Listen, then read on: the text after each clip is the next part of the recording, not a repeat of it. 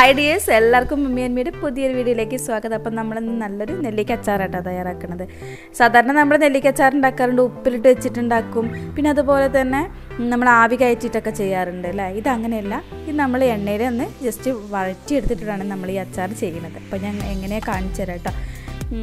അപ്പോൾ അതിനായിട്ട് നമ്മൾ നെല്ലിക്ക നല്ല ഫ്രഷ് ആയിട്ടുള്ള നെല്ലിക്കയാണ് എടുത്ത് വെച്ചിട്ടുള്ളത് കേട്ടോ.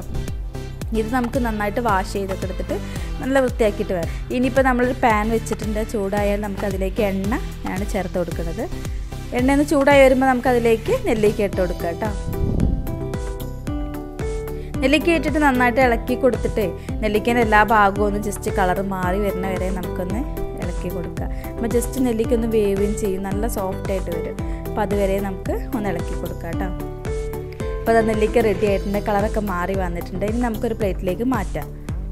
ഇപ്പോൾ ആ എണ്ണ ഒന്നും ചീത്തയായിട്ടില്ല കേട്ടോ. നമുക്ക് അതിലേക്ക് തന്നെ ഇഞ്ചി അരിഞ്ഞതും കറിവേപ്പില അരിഞ്ഞതും അതുപോലെ കുറച്ച് വെളുത്തുള്ളി.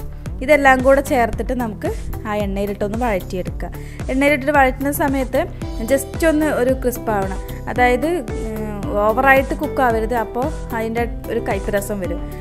എന്നാൽ അതിന്റെ ആ ജലാംശമൊക്കെ പോവുകയും ചെയ്യണം. ജലാംശം ഉണ്ടായാൽ നമുക്ക് അറിയാലോ അച്ചാർ പെട്ടെന്ന് ചീത്തയാവും. അപ്പോൾ ജസ്റ്റ് ഇങ്ങനെ ഇളക്കുമ്പോൾ തന്നെ നമുക്കറിയാം ചെറിയൊരു സൗണ്ട് ഉണ്ടാവും. അപ്പം ചട്ടിയിൽ ഇങ്ങനെ തട്ടുന്ന അപ്പോൾ തന്നെ നമുക്ക് പെട്ടെന്ന് തന്നെ കോരി മാറ്റണം അല്ലെങ്കിൽ ആ കളറ് മാറി വരും. ഇനി നമുക്ക് ആ എണ്ണയിൽ തന്നെ ഇത് കേടായിട്ടൊന്നുമില്ല. അതിലേക്ക് തന്നെ നമുക്ക് എന്ത് ചെയ്യാം? ഇതിലേക്ക് ആവശ്യമായിട്ടുള്ള പൊടികളൊക്കെ ചേർത്ത് കൊടുക്കുക. അതിനായിട്ട് മുളക് പൊടി കായത്തിന്റെ പൊടിയാണ്. പിന്നെ ഉലുവ പൊടിച്ചത്. ഇതെല്ലാം കൂടെ ചേർത്ത് നന്നായിട്ടൊന്ന് മിക്സ് ചെയ്യുക. പിന്നെ പൊടി ഇടുമ്പോഴേ കരിയണ കാര്യം പ്രത്യേകം ശ്രദ്ധിക്കണം. നല്ല ചൂടോട് കൂടി പെട്ടെന്ന് ഇട്ടെടുത്താൽ നന്നായിട്ട് കരിഞ്ഞ് ചീത്തയാവും. അപ്പോൾ അതുകൊണ്ട് അത് ശ്രദ്ധിക്കുക. തീ നന്നായിട്ട് കുറച്ച് വെച്ചിട്ട് വേണം നമ്മൾ ഈ പൊടികളൊക്കെ ചേർത്ത് കൊടുക്കാനായിട്ട്.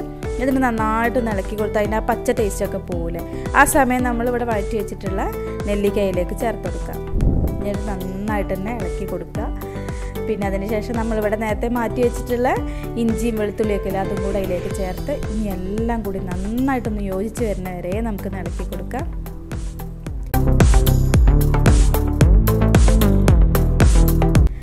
അപ്പോൾ ഈ ഒരു ഡ്രൈ ആയ രീതിയിലാണ് നെല്ലിക്കച്ചാർ എനിക്കിഷ്ടം. അതുകൊണ്ട് ഞാൻ വെള്ളമൊന്നും ചേർത്തിട്ടില്ല. ഇതിങ്ങനെ കഴിക്കാൻ ഭയങ്കര ടേസ്റ്റാണ് അപ്പോൾ എല്ലാവരും ഒന്ന് ട്രൈ ചെയ്ത് നോക്കുക. നമ്മുടെ ഇന്നത്തെ ഈ ഒരു അച്ചാറിന്റെ റെസിപ്പി ഇഷ്ടമായാലും അഭിപ്രായങ്ങളൊക്കെ പറയാം. അപ്പോൾ നല്ല ഓരോ വിശേഷങ്ങളും വിഭവങ്ങളൊക്കെ ആയിട്ട് നമുക്ക് കാണാം. എല്ലാവരും ഹാപ്പി ആയിട്ടിരിക്കുക. Okay bye